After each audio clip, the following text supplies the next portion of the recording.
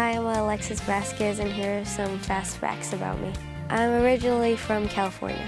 Uh, my favorite food is mini donuts. My favorite event is Beam. My favorite thing to do on the weekends is play with my dog.